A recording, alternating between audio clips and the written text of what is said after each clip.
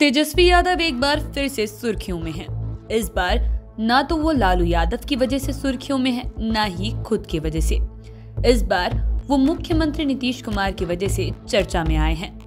कहें तो वो केवल चर्चा में ही नहीं, बल्कि बिहार से लेकर नेशनल मीडिया तक की नज़र उन पर लग गई है। दरअसल नीतीश कुमार ने 13 दिसंबर 2022 को महागठबंधन की हुई बैठक के बाद साफ़ कह दिया कि 2025 में तेजस्वी यादव नेतृत्व करेंगे। इतना ही नहीं, इसके ठीक एक दिन पहले भी नीतीश कुमार ने कहा था कि हम अब बहुत काम कर लिए हैं। आगे से अब तेजस्वी को ही करना है।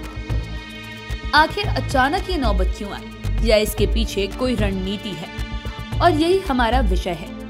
ऐसे में हम आज आपको नीतीश कुमार के प्लान और तेजस्वी यादव को कमान के पाँच संभावित कारणों को बताएँगे।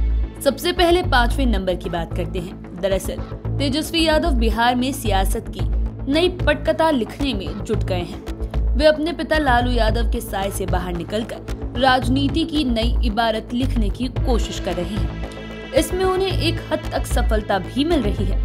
चाहे बिहार विधानसभा चुनाव का मामला हो, चाहे एमएलसी चुनाव का मामला, या फिर सड़क से लेकर सदन तक में अपनी बातों को रखने का मामला हो, हर जगह तेजस्वी ने ये साबित किया है कि वे अब राजनीति के धुरंधर खिलाड़ी हो गए हैं और वे आज के नए पुराने राजनीति से आगे चल रहे हैं। नीतीश कुमार भी तेजस्वी में बिहार का भविष्य देख रहे हैं। पॉलिटिकल एक्सपर्ट्स की अगर माने तो आप ये भी कह सकते हैं कि तेजस्वी यादव में लालू यादव के साथ ही नीतीश कुमार के भी सियासी गुण हैं। और जब दोनों नेताओं का गुण एक आदमी में आ जाए तो आप समझ सकते हैं कि उनकी सियासी ताकत कैसी होगी।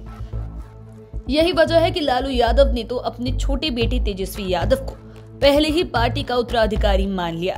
वहीं अब नीतीश कुमार ने भी ये मान लिया है कि बिहार का भविष्य तेजस्वी है। अब बात करते हैं चौथे नंबर की। हाजिर जवाबी के साथ ही पब्लिक फ्रेंडली होना किसी भी नेता के लिए ज़बरदस्त अचीवमेंट है और ये दोनों गुण तेजस्वी यादव में कूट कूट कर भरे पड़े हैं। दरअसल हम बात लालू यादव की करें या नीतीश कुमार की। दोनों नेताओं को बिहार के साथ ही पूरी दुनिया जानती है। लालू का ठेठ बिहारी अंदाज तो नीतीश कुमार की। सोशल इंजीनियरिंग का कोई जोड़ नहीं है। ये दोनों नेता उम्र के साथ सीखे, उन्हें उम्र के साथ अनुभव आया। लेकिन तेजस्वी यादव ने तो नेतागिरी में आने के साथ ही हाजिर जवाबी शुरू कर दी। इतना ही नहीं, युवा है और उनका अपना स्टाइल है। इसीलिए पब्लिक फ्रेंडली भी तुरंत हो जाते हैं। इस साल की शुरुआत का वाक्य आपको याद होगा। पटना के बापू सभागार में आयोजित परशुराम जयंती में तो उनका पीला गमछा वाला स्टाइल सोशल मीडिया पर गजब का वायरल हुआ था।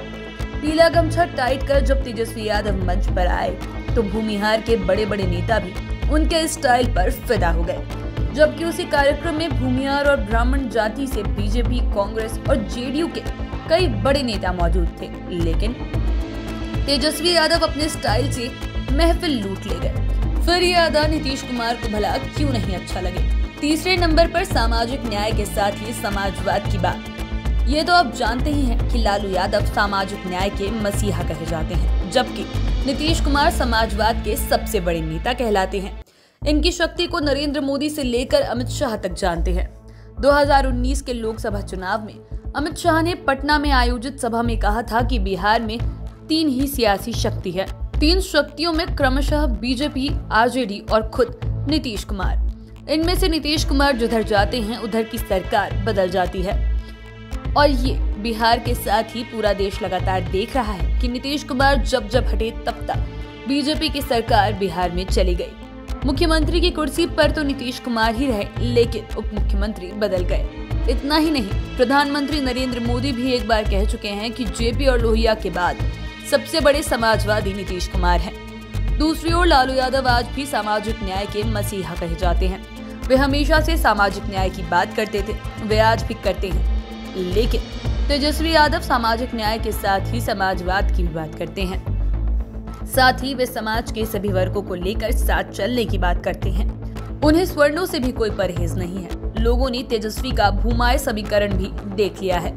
भूमाय मतलब मुस्लिम और यादव के साथ भूमियार समाज।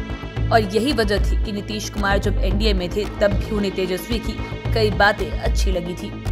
अब बात दूसरे नंबर की। इस नंबर पर पहले लालू यादव की बात करते हैं। लालू यादव शुरू से मुस्लिम, यादव, दलित, ओबीसी आदि की बात करते रहे हैं और इसी वजह से उनसे खासकर स्वर्ण वोट आज भी दूरी बनाकर रहते हैं। हालाँकि नीतीश कुमार सभी वर्गों को साथ लेकर चलने की बात करते हैं, फिर भी उनसे कई तबके बाहर हो जाते हैं। लेकिन तेजस्वी यादव अपनी नई धारा को लेकर आगे बढ़ रहे हैं। वे ए टू जेड की बात करते हैं। ए टू जेड में उन्हें सफलता भी मिल रही है। उन्हें लोग स्वीकार भी करने लगे हैं। तेजस्वी यादव मुस्लिम बीसी ओबीसी दलितों के साथ ही स्वर्णों और वैश्यों को भी उसी सहजता और अपनापन से तरजीह दे रहे हैं। आरजेडी का सांगठनिक चुनाव हो अथवा विधानसभा या लोकसभा चुनाव, प्रत्याशियों को जातियों के अनुपात से ही उतारने की कोशिश कर रहे हैं।